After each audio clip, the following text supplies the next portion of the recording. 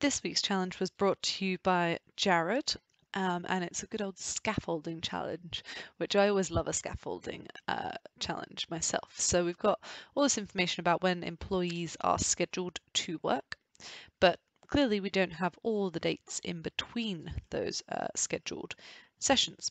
So what we want to do is we want to know uh, the very start of the year of the first scheduled uh, date. So we can see that the first scheduled date is in June time, I think. Um, and then the end date is in June time next year, but we want to go all the way to the end of 2023. So how can we do that? So first of all, I'm just going to duplicate the schedule the scheduled date field so that in my aggregate step I can do a minimum and a maximum scheduled date. So that just gets me my June 2022 date and my June 2023 date. And then I can get my start and end dates from there. So uh, for my start date, I'm first of all just truncating the date um, from my this scheduled date here to the start of the year. So if I show you that, then it's just a date trunc year of the scheduled date, um, and that gives me the 1st of January 2022. And similarly, I'm going to do exactly the same thing to this one for the uh, max one. So for the end date, it's just going to go to uh, the start of that year. So I know that sounds counterintuitive, but to me it made more sense to break it up into two steps. So I've got the 1st of January 2023 for my end year as well. Okay, so then for the end, so for the start I'm done. I have uh, the start date there, but for the end what I want to do is I want to, first of all, I want to add on a year to this date. So um, before it changed, sorry. I know that that's the end result we're getting to. It said 1st of January 2023, so I want to add a year onto that. That would make it the 1st January 2024. And then I want to minus a day from it. So reading inside out as usual with these calculations. So adding on a year, minusing a day, that will get us to the 31st of, of December uh, 2023. Okay, so then I can just get rid of the unnecessary fields. I've just got my start date and my end date, and that's dynamic. That will work now for any data set that we read in. So now I can scaffold my data set. I can put in those new rows. So I just have my start less than or equal to my end, and I've just named that date for now. And I'm just using um, every new row represents a new day. Okay, um, so that's the scaffolding part done, but it's not actually joined to any of our data yet. So let's think about that part of it as well. So one of the requirements was to make a full name field out of this data. So going back to this data here, adding in a clean step that creates a different branch. Then to create our full name, we were doing our first name plus a space and then plus the last name. Then we're just getting a list of all of the names and employee IDs, not including when they're scheduled. Okay, so we just create our unique list here.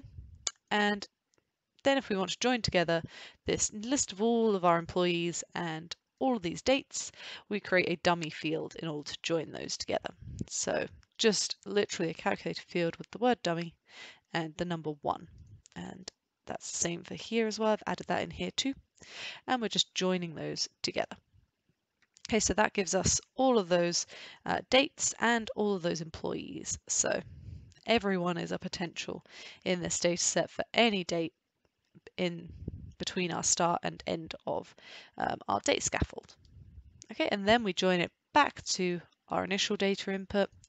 Um, so we don't want it just to be um, an inner join because that won't include, that would just, we'd be back to square one if we did that. We wouldn't have any of the scaffold included. So all of the scaffold is here, the 6,625 uh, rows are the scaffolded date where no one is scheduled on those dates. Okay, um, so we do that not only on the employee ID, but also on the dates there. Um, and we make it, in my case, a right join because I have, um, you can see that this data set here, the scaffolded data set is on the right. Uh, if you had joined it in a slightly different way, then you might have your um, scaffolded data set on the left. So just be careful, make sure it matches, make sure you have the join result coming out of 7,300 rows.